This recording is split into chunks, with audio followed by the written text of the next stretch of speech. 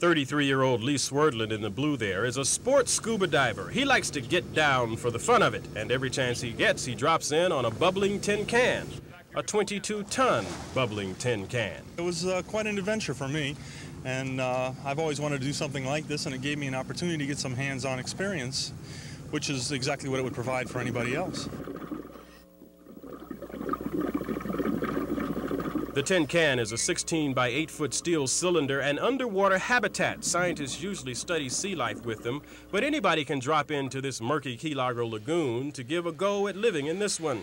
Ian Koblick, an ocean pioneer, the Jacques Cousteau of America, runs it for a nonprofit marine foundation. But even he says it will be a while before man lives under the sea.